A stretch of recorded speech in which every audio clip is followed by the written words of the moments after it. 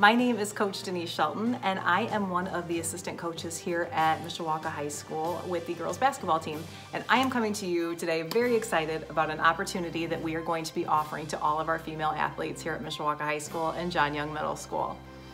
To say that this is a challenging time for you right now would probably be the understatement of the year. We know that yes, your school is physically closed.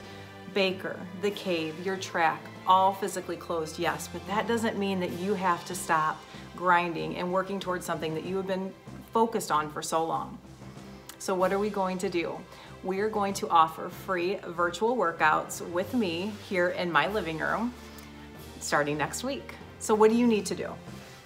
You need to make sure that you have access to the Zoom app or the Zoom website, and I need you to drop me an email to coachdshelton at gmail.com and include in that email your name, the grade you are in, and the sport and or sports that you play.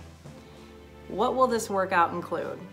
It's gonna include all the stuff that the athletes need. Some cardio, some strength, some flexibility, some balance, all those good things for any sport that you might play. So I'm going to challenge you today to stay fit, to stay focused, and because your time is coming back, to make sure that you stay caveman ready. Let's go.